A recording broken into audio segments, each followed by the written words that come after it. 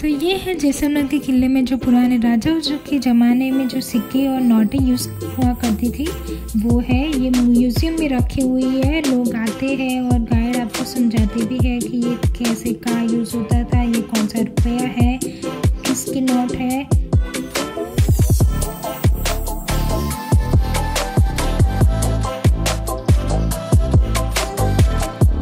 जब भी जैसलमेर जाओ ये किले में म्यूज़ियम देखने ज़रूर जाना।